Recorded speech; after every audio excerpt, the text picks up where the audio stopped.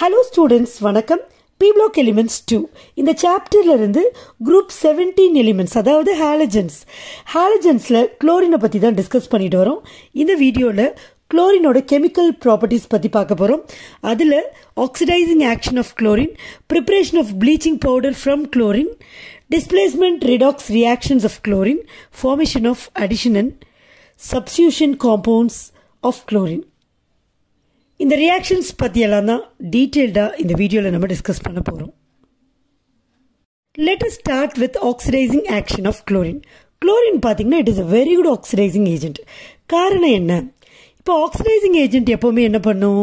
They get reduced இல்லையா? அப்போ reduced அப்படின்னு என்ன அர்த்தம்? அவங்களால எலக்ட்ரான்ஸை வாங்கிக்க முடியும்னு அர்த்தம். இப்போ குளோரின் பாருங்கள் அது குளோரின் மட்டும் இல்லை ஹாலஜன்ஸ் எல்லாமே என்எஸ் டூ என்பி ஃபைவ் கான்ஃபிகரேஷனில் இருக்குது அப்போ ஒரு எலக்ட்ரான் வந்துடுச்சுன்னா eight electron octet electronic configuration வந்துடும் ஸ்டேபிள் ஆகிடும் ஸோ இதெல்லாம் வந்து ஸ்டேபிள் ஆக தான் ட்ரை பண்ணோம். அதனால் chlorine can readily accept electrons from other compounds அதனால் அது ரெடியூஸ் ஆகுது.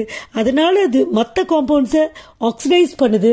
அதனால் it is a very good oxidising agent okay oxidising ரியாக்ஷனில் இங்கே குளோரினை பொறுத்த வரைக்கும் நம்ம மூணு ரியாக்ஷன்ஸை பார்க்க போகிறோம் அதாவது chlorine oxidises FE two plus ions to FE three plus அப்போ இது என்ன அயான் ஃபெர்ரஸ் அயான் ஃபெர்ரஸ் அயான்ஸை ஃபெர்ரிக் அயான்ஸாக ஆக்சிடைஸ் பண்ணும். ரெண்டாவது it oxidises sulphites SO three two minus to sulphates okay அப்போ சல்ஃபைட்ஸை சல்ஃபேட்ஸாக ஆக்சிடைஸ் பண்ணுது. ஸோ இது ரெண்டாவது ஆக்சிடேஷன் ரியாக்ஷன் மூணாவதாக it oxidises H two S to sulphur இது ஆல்ரெடி பார்த்துட்டோம் இருந்தாலும் ஆக்சிடேஷனில் தனியாக சொன்னால் இன்னும் நீங்கள் மறக்காமல் இருப்பீங்களே அப்படிங்கிறதுக்காக தான் இங்கே அதை திரும்ப இன்க்ளூட் பண்ணுறேன் ஸோ குளோரின் அப்படின்னு சொன்ன உடனே குளோரினோட ஆக்சிடைசிங் ஏக்ஷன் அப்படின்னு சொன்ன உடனே இந்த மூணு ரியாக்ஷன்ஸ் தான் உங்களுக்கு ஞாபகம் வரணும். ஸோ இதுக்கு ஒரு ரெண்டு எக்ஸாம்பிள் எடுத்துக்க போகிறோம் இதுக்கு ஒரு எக்ஸாம்பிள் இதுக்கு இந்த equation so we are going to deal with four equations for this simple topic so first oxidation என்ன பார்க்க போகிறோம் எஃப்இ டூ பிளஸ் அதாவது ஃபெர்ரிக் ஃபெர்ரஸ் அயான்ஸ் எப்படி? ஃபெர்ரிக் அயான்ஸா ஆக்சிடைஸ் ஆக போகுது ஸோ இந்த கன்வர்ஷனுக்கு இந்த ஆக்சிடேஷனுக்கு ரெண்டு ரியாக்ஷன்ஸை எக்ஸாம்பிள்ஸாக எடுத்துட்டு நம்ம டிஸ்கஸ் பண்ண போகிறோம் first one is FECL to FECL three oxidation second one is FESO four to FE two SO four thrice oxidation ரெண்டுத்துலையுமே பார்த்தீங்கன்னா இங்கே அயனோட ஆக்சிடேஷன் ஸ்டேட்டு ப்ளஸ் டூ இங்கே எஃப்இயோட ஆக்சிடேஷன் ஸ்டேட் ப்ளஸ் த்ரீ அப்போ இது ஃபெரஸ் இது ஃபெர்ரிக்கு அதே மாதிரி தான் இங்கேயும் ஃபெரஸ் இந்த எஃப்இயோட ஆக்சிடேஷன் ஸ்டேட் பிளஸ் டூ இங்கே plus three okay right one by one பார்க்கலாம். So first conversion or first oxidation FECL two to FECL three so direct oxidation யார் கூட ட்ரீட் பண்ண போகிறோம் குளோரின் தான் ஆக்சிடைசிங் ஏஜென்ட் இப்போ FECL three ferric chloride form ஆகுது. ஈக்குவேஷனை பேலன்ஸ் பண்ணணும். இங்கே பார்த்தீங்கன்னா ஃபோர் சிஎல் இருக்குது இங்கே த்ரீ தான் இருக்குது ஸோ இங்கே வந்து என்ன பண்ணிடலாம்? டூ போட்டுடலாம். அப்போ டூ த்ரீ சார் சிக்ஸ் வரும் ஸோ எஃப்இ டூ ஆயிடுச்சு ஸோ இங்கே டூ போட்டுருங்க.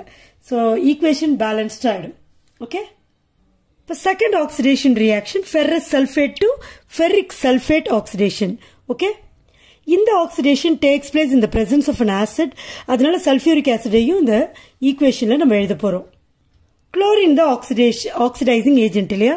அப்போ chlorine in presence of H two O forms two acids one is HCL and other one is HOCL இந்த ஹெச்ஓசிஎல் தான் இந்த ஃபெரஸ் சல்ஃபேட் கூட ரியாக்ட் பண்ணும். பாருங்க ஃபெரஸ் சல்ஃபேட் இந்த பிரசன்ஸ் ஆஃப் அன் ஆசிட்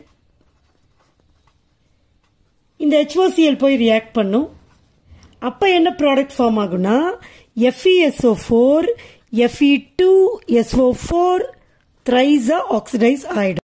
இந்த ஓ ஹெச்ஓசிஎல் விட்டு போயிடும். ஸோ ஹெச்சிஎல் அதுதான் போய் ஆக்சிடைஸ் பண்ணும். Plus H two O form ஆகும் ஓகே ஸோ ஓவரால் ரியாக்ஷனுக்கான ஈக்குவேஷனை எழுதலாம். அதுக்கு முன்னாடி இந்த ரெண்டு ஈக்குவேஷனும் பேலன்ஸ்டாக இருக்கான்னு பார்த்துடணும். ஸோ இந்த ஈக்குவேஷன் பேலன்ஸ்டாக தான் இருக்குது இந்த ஈக்குவேஷனில் இங்கே ரெண்டு எஃப்இ இருக்குது ஸோ இங்கே ரெண்டு போட்டுடலாம். ஹைட்ரஜன் பார்க்கணும். இங்கே பாருங்கள் இங்கே ஒரு ஹைட்ரஜன் இங்கே ரெண்டு ஹைட்ரஜன் மூணு ஹைட்ரஜன் இருக்குது இங்கேயும் மூணு ஹைட்ரஜன் இருக்குது ஸோ இந்த ரெண்டு ஈக்குவேஷன்ஸையும் ஆட் பண்ணலாம். அதுக்கு முன்னாடி லெஃப்ட் அண்ட் ரைட் சைட்ஸில் இருக்கிற சேமாக இருக்கிற சப்ஸ்டன்சஸை கேன்சல் பண்ணிடலாம். ஓகே ரைட் இப்போ இங்கே பார்த்தீங்கன்னா ஹெச்ஓசிஎல் இருக்குது ஸோ ஹெச்ஓசிஎல் ஹெச்ஓசிஎல் கேன்சல் பண்ணிடலாம். H two O H two O cancel பண்ணிடலாம். ஸோ அவ்வளோதான் மீதியை நம்ம ஆட் பண்ணிடலாம். ஸோ நெட் ரியாக்ஷன் எப்படி எழுதுறது? Two FE SO four plus H two SO four plus CL two gives Fe2 SO4 thrice. Plus பாருங்க ரெண்டு ஹெச்சிஎல் இருக்குது டூ ஹெச்சிஎல் ஸோ இதுதான் வந்து overall reaction FE two plus FE three ப்ளஸ்ஸாக oxidise ஆகிறதுக்கான ரெண்டு எக்ஸாம்பிள்ஸ் ரெண்டுத்தையுமே நம்ம பார்த்துட்டோம். நெக்ஸ்ட் வந்து let us move on to oxidation of sulphites to sulphates oxidation of sulphites to சல்ஃபேட்ஸில் ஒரே ஒரு எக்ஸாம்பிள் பார்க்க போகிறோம் that is NA two SO three இது sodium sulphite getting oxidised to sodium sulphate so இதுக்கான ரியாக்ஷன்ஸ் நம்ம பார்க்கலாம். So as usual chlorine in the presence of water forms HCl and HOCl. இந்த HOCl போய் Na2SO3 கூட react பண்ண போது Na2SO3 நாம் எடுத்துக்கிற சப்ஸ்டன்ஸ் ரியாக்டன்ட் இது கூட இந்த ஹெச்ஓசிஎல் ரியாக்ட் பண்ணும். ரியாக்ட் பண்ணி இட் ஃபார்ம்ஸ் பாருங்க. என்னவா ஆக்சிடைஸ் ஆகுது? Na2SO4 ஸோ அதை எழுதிடணும். NA two SO four plus HCL form ஆகும். இப்போ ஓவரால் ரியாக்ஷன் ஓவரால் ரியாக்ஷன் என்னன்னு பார்க்கலாம். அப்போ வந்து லெஃப்ட் அண்ட் ரைட்டில் நம்ம ஆட் பண்ணணும். காமனாக இருக்க சப்ஸ்டன்சஸை கேன்சல் பண்ணிடலாம். ஸோ ஹெச்ஓசிஎல் ஹெச்ஓசிஎல் கேன்சல் பண்ணிடலாம் ஆனால் அதுக்கு முன்னாடி கூட நம்ம இங்கே இருக்கிற ரெண்டு ரியாக்ஷன்ஸும் ஈக்குவேஷன்ஸும் பேலன்ஸ்டாக இருக்கான்னு பார்க்கணும். ஸோ ஃபஸ்ட் ஈக்குவேஷன் பேலன்ஸ்டாக தான் இருக்குது செகண்ட் ஈக்குவேஷன் பாருங்கள் ஓ வந்து இங்கே three plus O one four இங்கே ஃபோர் தான். ஸோ ஈக்குவேஷன் பேலன்ஸ்டாக தான் இருக்குது இப்போ நம்ம ஆட் பண்ணுவோம். So NA two SO three plus இந்த சிஎல் டூ ப்ளஸ் இந்த H two O gives Na2SO4 plus இங்க ஒரு HCl இருக்கு இங்க ஒரு HCl இருக்கு. So 2 HCl okay? Next oxidation reaction என்னன்னு பார்த்தீங்கன்னா hydrogen sulphide oxidised to sulphur by chlorine இதுக்கான reaction H two S chlorine கூட ரியாக்ட் பண்ணுது. And it gives sulphur and HCL okay so இந்த ஈக்குவேஷனை நம்ம ஆல்ரெடி பார்த்துட்டோம். இப்போ ஈக்குவேஷனை பேலன்ஸ் பண்ணணும். ரெண்டு ஹைட்ரஜன் இருக்குது இங்கே ரெண்டு சிஎல் இருக்குது ஸோ டூ ஹெச்சிஎல் போட்டோம்னா கரெக்ட் ஆகிடும் so oxidising action of chlorine முடிஞ்செடுத்து. Let us move on to preparation of bleaching powder examination point of வியூவில் ப்ரிப்பரேஷன் ஆஃப் ப்ளீச்சிங் பவுடர் வந்து ரொம்ப ரொம்ப இம்பார்ட்டண்ட்டான கொஸ்டின் எப்படி ப்ரிப்பேர் பண்ணுறோம் ஒரே ஒரு சிங்கிள் ஈக்குவேஷன் தான் இதுக்கு ஆன்சர் நீங்கள் எக்ஸ்ப்ளனேஷன்லாம் எதுவுமே எழுதணும்னு அவசியமே கிடையாது. Correct balanced equation with proper conditions நீங்கள் எழுதுனீங்கனாலே கெமிஸ்ட்ரியில் அது ஈக்குவேஷன் பேஸ்டு கொஷினாக இருந்தால் ஃபுல் மார்க் கொடுத்துருவாங்க. ஓகே இப்போ இங்கே ப்ளீச்சிங் பவுடர் எப்படி ப்ரிப்பேர் பண்ணுறோம்னா it is prepared by passing chlorine gas chlorine gas through dry slaked lime. ரொம்ப முக்கியம். அப்போ ஸ்லேக்கட் லைம்னால் நமக்கு என்னன்னு தெரியணும் இல்லையா? குவிக் லைம் கூட வாட்டரை ட்ரீட் பண்ணுறப்ப நமக்கு வந்து ஸ்லேக்கட் லைம் கிடைக்கும். குவிக் லைம்னா கால்சியம் ஆக்சைடு ஸ்லேக்கட் லைம்னா கால்சியம் ஹைட்ராக்சைடு அதுதான் டிஃப்ரென்ஸே ஸ்லேக்கட் லைம் அப்படின்னு சொல்லிட்டாலே அது கால்சியம் ஹைட்ராக்சைடு அப்படின்றத நீங்கள் புரிஞ்சுக்கணும். இந்த ரியாக்ஷனுக்கான ஈக்குவேஷனை நம்ம எழுதிடலாம். பாருங்கள் ஸ்லேக்கட் லைம் கால்சியம் ஹைட்ராக்சைடு குளோரினை அது வழியாக பாஸ் பண்ணுறோம் என்ன ஆகுது சிஏஓ சிஎல் டூ ஃபார்ம் ஆகுது. This is nothing but bleaching powder so bleaching பவுடரோட formula கூட ஒன் மார்க் கொஷினில் மல்டிபிள் சாய்ஸில் இதே மாதிரி வேறு வேறு குழப்புற மாதிரி அதர் ஆன்சர்ஸ் கொடுத்துட்டு இதை கொடுப்பாங்க. So this is the molecular formula for bleaching powder ஞாபகம் வச்சுக்கோங்க.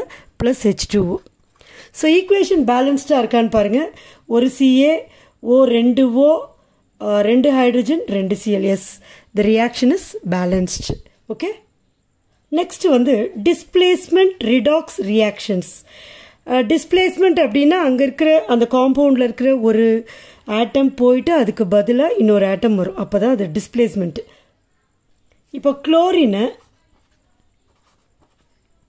potassium bromide plus potassium iodide இந்த மாதிரி சப்ஸ்டன்ஸ் கூட ட்ரீட் பண்ணுறப்ப பாருங்கள் பிஆர் டூ தனியாக வந்துடும் ஓகே ப்ளஸ் கேசிஎல் கிடச்சிரும்.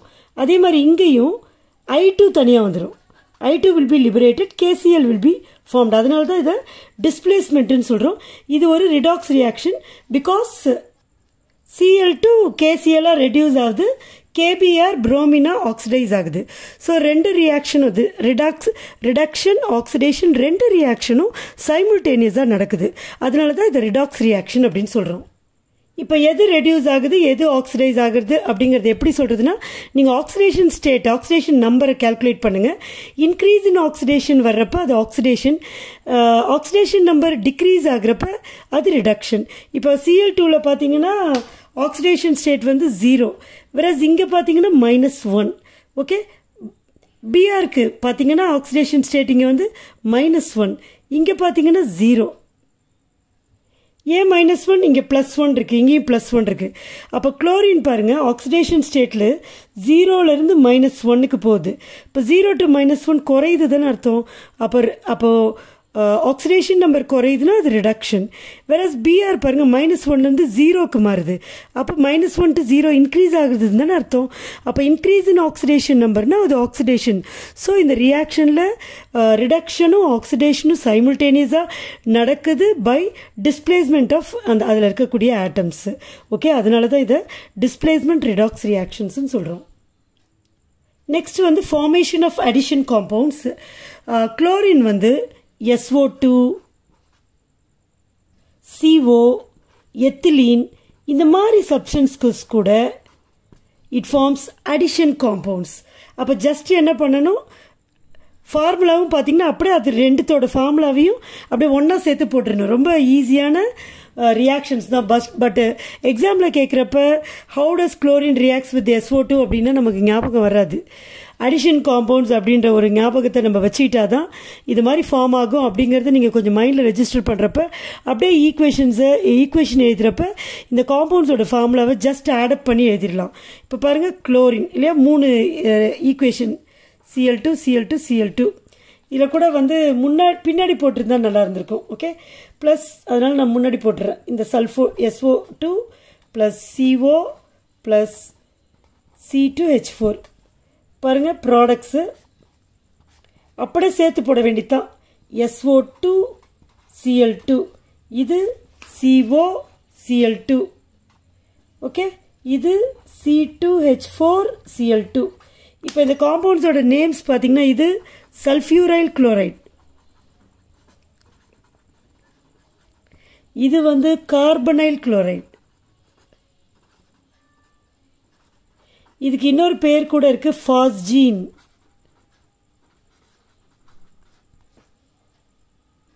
இந்த காம்பவுண்டுக்கு எத்திலின் டைக்ளோரைட் ஸோ எல்லா ரியாக்ஷன்ஸ்க்குமே ஈக்குவேஷன் சிம்பிளாக தான் இருக்குது பட் என்ன ஒரே ப்ராப்ளம்னா டக்குன்னு நமக்கு மைண்டுக்கு வராது. அப்போ என்ன பண்ணணும் நீங்கள் ஒரு ஒரு ரியாக்ஷனையும் தனிப்பட்ட முறையில் யார் கூட ரியாக்ட் பண்ணுது எப்படி ரியாக்ட் பண்ணுது என்ன விதமான ரியாக்ஷன் அங்கே நடக்குது அப்படிங்கிறத கொஞ்சம் டைம் ஸ்பெண்ட் பண்ணி புரிஞ்சு படித்து எழுதி பார்க்குறப்ப தான் உங்களால் எக்ஸாமில் ஆல் ஆஃப் அ சடன் ஏதோ ஒரு ரியாக்ஷனை கேட்குறப்ப எழுத முடியும். இல்லைனா otherwise you'll get con confused okay next formation of substituted products என்ன பார்த்தீங்கன்னா மீத்தேன் பென்சீன். நிறைய ரியாக்ஷன்ஸ் இருக்குது குளோரினோட சப்ஸ்டியூட்டடு சப்ஸ்டியூஷன் ரியாக்ஷன்ஸு ஸோ சிம்பிளாக சில எக்ஸாம்பிள்ஸ் மட்டும் நமக்கு டெக்ஸ்ட் புக்கில் கொடுத்துருக்குறாங்க ஸோ சிஹெச் ஃபோர் வந்து என்ன பண்ணும்னா CH three CL plus HCL form ஆகும். அதாவது இதுலேருந்து ஒரு ஹைட்ரஜன் வந்துடும் அதுக்கு பதிலாக ஒரு சிஎல் போயிடும். ஸோ இதில் மிச்சம் இருக்க ஹெச்சும் இதில் மிச்சம் இருக்க சிஎலும் ஹெச்சிஎல்லும் ஃபார்ம் ஆகும். இந்த ரியாக்ஷன் பார்த்திங்கன்னா இட் டேக்ஸ் பிளேஸ் இந்த ப்ரெசன்ஸ் ஆஃப் சன்லைட்டு அது இல்லாமல் இந்த ரியாக்ஷன் இதோட முடியும்னு சொல்ல முடியாது. இந்த சப்ஸ்டியூஷன் கண்டினியூ ஆகிட்டே போகும். அதாவது இன்னொரு ஹைட்ரஜன் போயிட்டு அதுக்கப்புறம் சிஹெச் டூ சிஎல் டூ அப்புறம் அதுவும் போயிட்டு CH three C CH CL three chloroform அதுக்கப்புறம் இன்னும் சிசிஎல் ஃபோர் அது வரைக்கும் கூட இந்த ரியாக்ஷன் வந்து கண்டினியூ ஆகும். பென்சீனில் பார்த்தீங்கன்னா chlorine forms the substituted product in the presence of FeCl3 C6H5Cl plus HCl. Okay? So these are the important reactions of chlorines chlorine இதை வந்து நீங்கள் ரொம்ப எல்லாத்தையுமே எல்லாமே ஈஸியான ரியாக்ஷன்ஸ் தான். ஸோ நல்லா ப்ரிப்பேர் பண்ணுங்கள் நெக்ஸ்ட் வந்து யூசஸ் ஆஃப் குளோரின் உங்களுக்கு தெரியும். குளோரின் அப்படின்னு சொல்கிறப்ப அது ஒரு good bleaching agent wood pulp cotton and textile இண்டஸ்ட்ரீஸ்லலாம் bleaching ஏஜென்ட்டாக யூஸ் ஆகுது. அதே மாதிரி நிறைய காம்பவுண்ட்ஸை மேனுஃபேக்சர் பண்ணுறதுலையும் குளோரின் யூஸ் ஆகுது. Like dyes drugs refrigerants etcetera அதுக்கப்புறம் ட்ரிங்கிங் வாட்டர் ஸ்டெர்லைஸ் பண்ணுறதுக்கு ப்யூரிஃபை பண்ணுறதுக்கு குளோரின் யூஸ் ஆகுது. Okay these are all the reactions and properties I'm sorry